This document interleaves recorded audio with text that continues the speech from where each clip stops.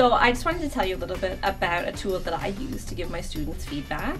Um, and it's, it's helped me to really get to know my students better or to have them get to know what it is that I am looking for in their assignments beyond the rubric that I have for them um, and as well as sample assignments. So um, I've used it with large classes that are face-to-face, -face, small classes that are face-to-face, -face, as well as when I'm teaching a fully online class. Um, so for me, it's really important that um, I develop a connection with my students. I get to know them, and um, most of my feedback used to usually be in writing. And the comments that I would get from my students is that you know, when I meet with them, when they have questions about their assignments and the feedback I've given them, when I meet with them and talk to them, they're like, oh, that's what you meant by this. Um, you know, when it's written down, it seems so cold, or it seems like you're angry at us. But actually, when you say those same words, when you're looking at me and through your tone of voice, it makes sense and now I know that you're not mad at me. So obviously I need to improve how I'm writing my own feedback. Um, but one tool that helps me to kind of, you know, make sure that my students have a clear idea of the feedback, but also that I'm trying to support their learning and to help them, and that I, I care about them, and whether it's small successes or big successes, um, and just to help them improve. So the tool that I use is something called Screencast-O-Matic, which you can get free online, um, and I will make a little video um, of the feedback that I have for them. So what I do first is I have my rubric um, as well as their assignment. Um, and it helps me first to, you know, go through the assignment first, do the rubric and identify like on the written paper or online, you know, what are the areas to improve, um, you know, what, what they did well. But rather than writing all my comments um, in a written format and giving it to them, I do Screencast-O-Matic and that way I can actually start from the beginning of the assignment and walk them through it and then you know and express um, certain things that I might not take the time to do in writing. So for example, giving them additional examples or ways of saying that. Sometimes it takes too long in writing um, to do that, especially when we have a lot of papers to mark. So it can be a quicker way just to record your voice and then show them on the paper by highlighting or writing in the comment box. Okay, so now I'm just going to quickly show you how to use Screencast-O-Matic. Um, it gives me the option of doing the webcam, so I'm just doing that. Um, usually I don't do that when I give students feedback. Um, I usually just give the audio feedback. So uh, when you set up the recording, it will, it will open up a box that will ask you if you want to use the webcam or not, so you can disable that function. Just make sure that you've got the audio going. Um, also, I like to use headphones because the sound quality is better than if you're just doing it, um, you know, straight through the computer audio. So this screen will open up. Again, Screencast-O-Matic is free. Um, and you can just hit start record and then it will do a little countdown for you, three, two, one, go, and then you start. You also have the option of pausing it. Um, you have the option of deleting it. You have the option of pausing it, recording a bit more, and then if you don't like that chunk, you can go back to where you last paused. So um, that's a great feature. So now I'm going to go to the student's assignment, which I have on the screen. So I'm going to minimize this and show you what I have. So right now I have the, the recording box open to show my whole screen. So, you know, you can give yourself a smaller window as well.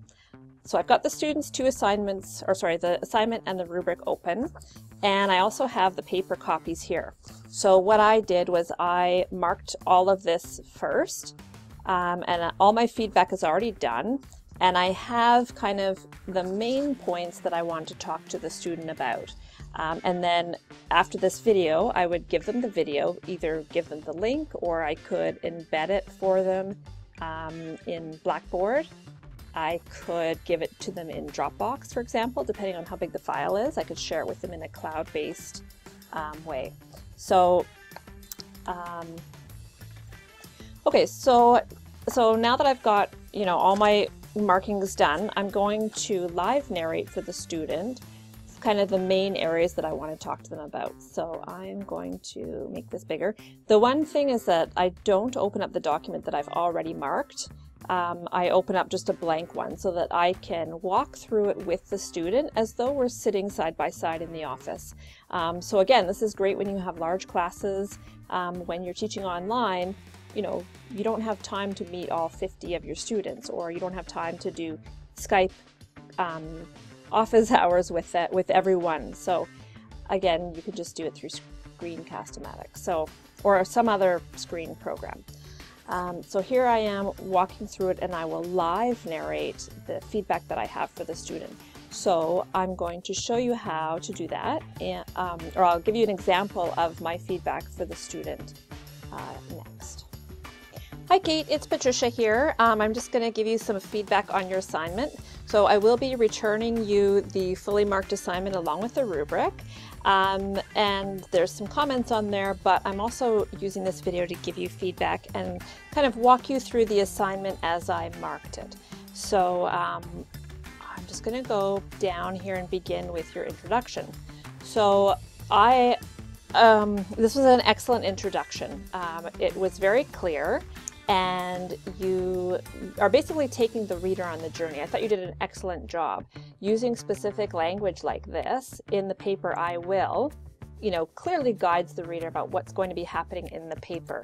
Um, so you're, you know, this is what I'm going to do, this is what's in the paper, and this is how I'm going to finish, which again, you've done a great job of telling me what you're going to do at the end. So again, excellent introduction.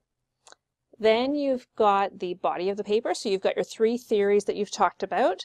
Um, and again, in the rubric, it talks about that um, you have to give an overview of the theory. So you've done that really well. Um, you've got your three theories here.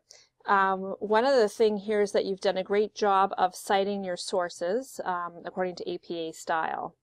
So when I go down to your reference list, um, I hope you don't get, get dizzy. I'm going to scroll through here quickly, but I'm going down to your reference page. And I can see here that you've got a number of references from a variety of sources. So you've got, uh, you know, you've retrieved them online. You've got the dates, you've got the titles, um, you've got a book here as well that you've used. So um, you've got a good variety um, and you're following APA format correctly. So well done there. Excellent job overall. Um, it's a good kind of start to finish paper. Just a couple of suggestions to improve, but overall, you know, excellent, excellent paper. So I will be sending you this little video with kind of the things that I've highlighted in this Word document. I've only highlighted a few things, but I'll send it to you anyway.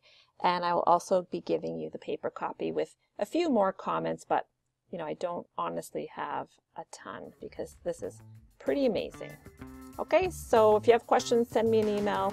Uh, but otherwise, I look forward to seeing you in class next week.